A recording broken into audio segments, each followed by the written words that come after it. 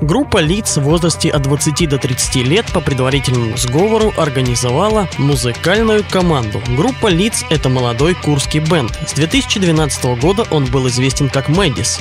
Это аббревиатура. Название было выбрано согласно первым буквам имен участников коллектива, но со временем оно перестало быть актуальным.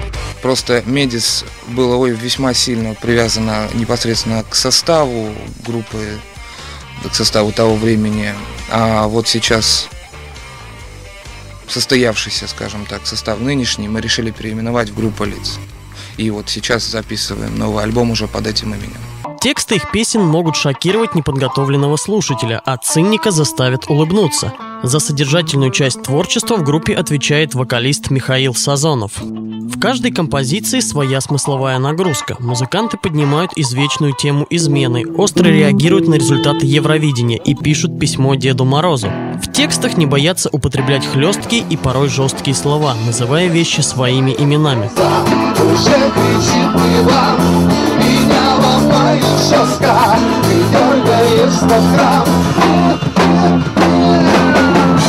своим песням музыканты сами пишут аранжировки, стремясь по звучанию приблизиться к стилю брит-поп. В арсенале барабаны, бас, электро и акустическая гитара. А в новом альбоме обещают добавить клавиши и электронные звуки. Мы все слушаем там, такие группы, как Oasis, Франц Фердинанд, Forest the People.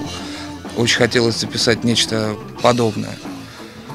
А сейчас вот уже новый проект очень серьезно изменился в звучании, очень серьезно поменял непосредственно какую-то основную мысль или идею. Ну, также остались веселые, добрые песни как-то с хорошим настроением. Широкой общественности группа стала известна благодаря красочным профессиональным клипам с импульсивными сюжетами. В интернете они собрали уже более 5000 просмотров и сотни лайков.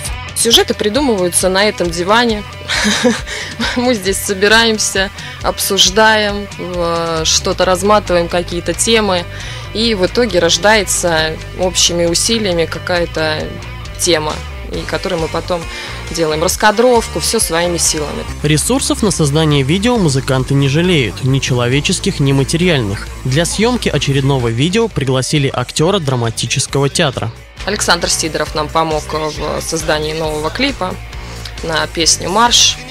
Вот, играл он там роль бомжа, нашедшего миллион денег в большом чемодане и как бы наш, как он их потратил как э, человек э, с таким статусом мог потратить э, миллион.